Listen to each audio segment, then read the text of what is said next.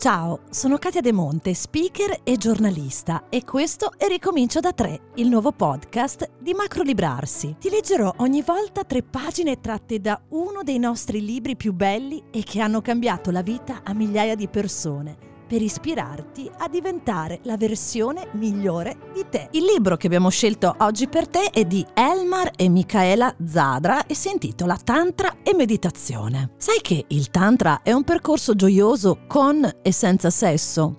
La meditazione tantrica è un insieme di tecniche meditative che combinano movimento, respiro, meditazione e suono per migliorare il flusso di energia che attraversa il nostro corpo. E la meditazione tantrica si distingue dalla maggior parte delle tecniche praticate in Occidente dove gli obiettivi principali sono la tranquillità e il rilassamento, in quanto sfrutta diversi tipi di energia per arrivare ad una profonda conoscenza di noi stessi. Il corpo a questo punto diventa fluido, senza resistenze e contrazioni, in grado di mantenere e assaporare l'espansione della coscienza.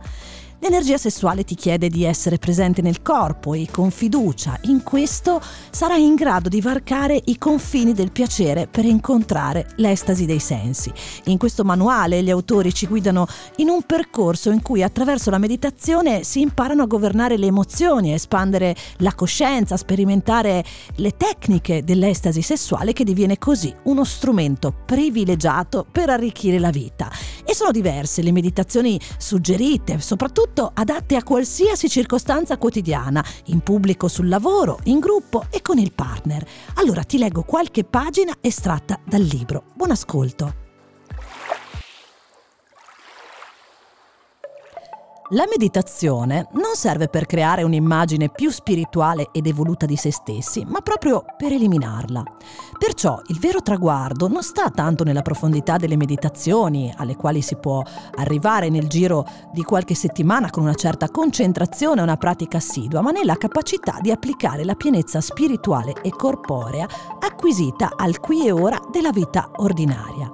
Se vivi esperienze di picco nelle quali sei al settimo cielo, ma mentre ti allacci le scarpe sei assente a te stesso, stai coltivando un'idea dell'ego.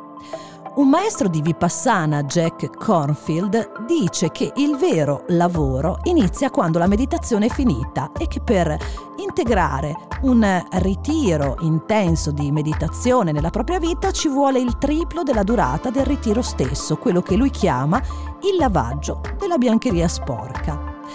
La vera arte del Tantra non consiste nell'arrivare all'estasi o nel raggiungere vette spirituali sempre più alte, bensì nel rendere la propria vita più interessante. La meditazione è semplice, chiudi gli occhi e accarezzi il tuo respiro con la coscienza. Quando arrivi allo stato in cui tutto è uno, il percorso è ancora più semplice. La sfida è di non attaccarsi allo stato di unità che ci piace così tanto per portare l'esperienza del tutto e uno anche nella vita ordinaria dove le cose non sono più semplici ma complesse e determinate dalle relazioni con altre persone. Qui ogni situazione richiede una soluzione diversa, non esiste più un'unica soluzione.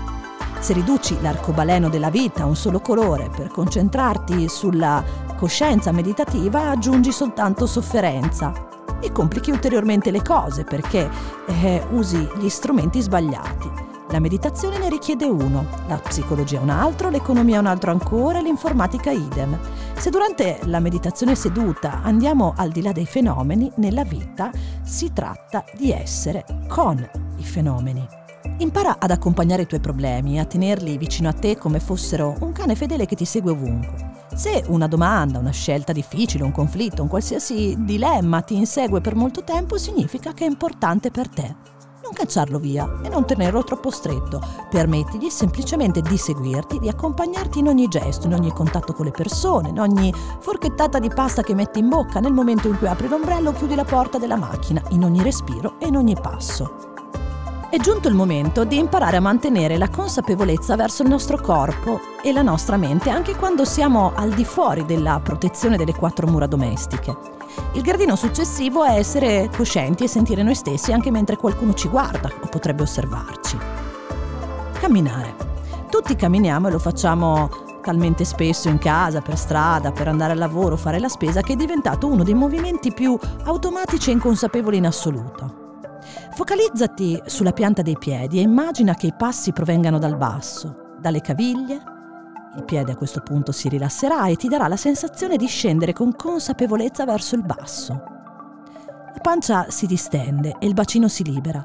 Poi, continuando a essere consapevole dei movimenti all'interno del tuo piede, fino a sentire le dita che si piegano a ogni passo, porta simultaneamente la coscienza alla testa che oscilla leggermente coi passi. Immagina di essere appeso per la testa a un filo invisibile che penzola dall'alto e di essere come un tubo aperto in basso e in alto questo forse ti darà una sensazione di allungamento. I piedi si aprono al contatto con la terra, la testa si apre verso il cielo, mentre al centro si crea più spazio, nel tuo petto il cuore si espande. Se ti mantieni flessibile, con la mascella rilassata e la schiena morbida, tutto il corpo si muoverà durante la camminata, non soltanto i piedi e le gambe sentirai come l'onda creata dai passi in basso si propaga attraverso il bacino e la colonna vertebrale, sciogliendo la corazza muscolare, come le anche, la schiena, le spalle, le braccia e la nuca seguono questo continuo movimento delle gambe che si propaga in tutto il corpo. Facendolo con leggerezza, ti renderai conto che camminare, oltre a essere funzionale per andare da un punto all'altro, può essere anche un momento veramente gioioso.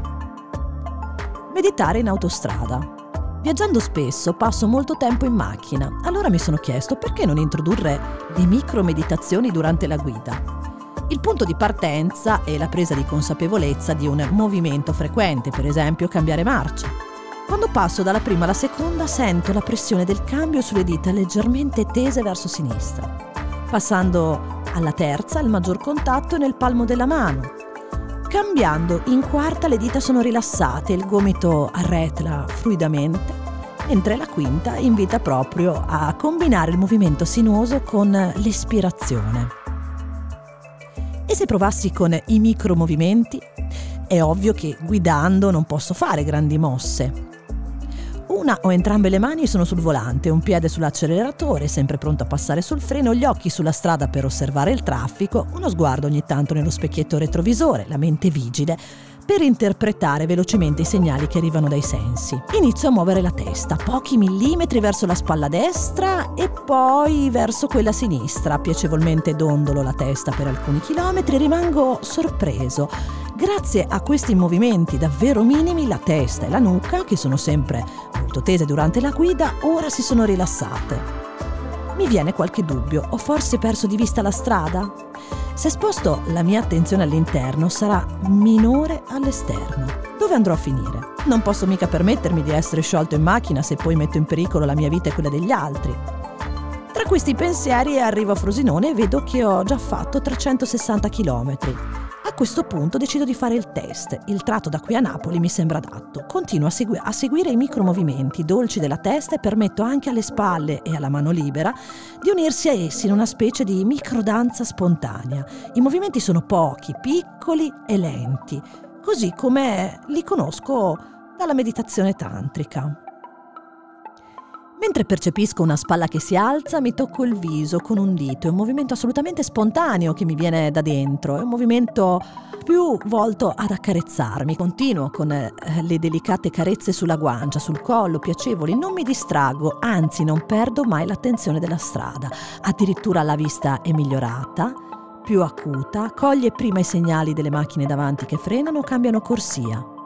È solo un'idea sbagliata pensare che il dentro e il fuori di sé come opposti che si escludono a vicenda. L'attenzione è duplice e può essere mantenuta sia verso l'esterno sia verso l'interno, contemporaneamente.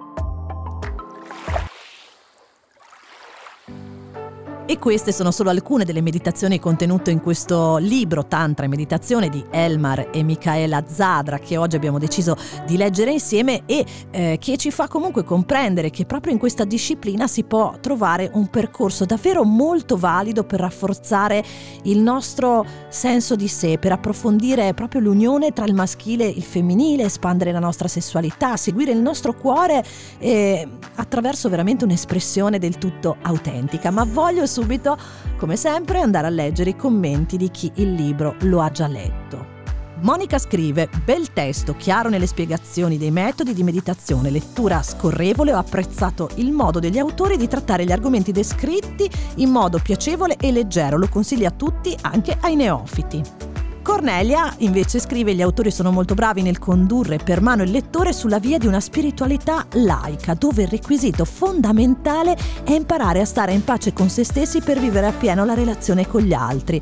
Riprendo spesso la lettura di questo libro quando mi sento fragile, dubbiosa o poco serena. E nel salutarti voglio ringraziarti per avermi ascoltata in questo podcast di Macro Ribrarsi, il negozio etico online più grande d'Italia per il benessere green, la salute della terra e il benessere delle persone, alimentazione, libreria, erboristeria, eco bioshop e tanto altro. Scegli anche tu l'alternativa naturale. Infine, per seguire il nostro podcast Ricomincio da 3 e scoprire gli altri libri del cambiamento, il link è macrogo.to slash podcast. E noi ci risentiamo alla prossima puntata per scegliere la versione migliore di te.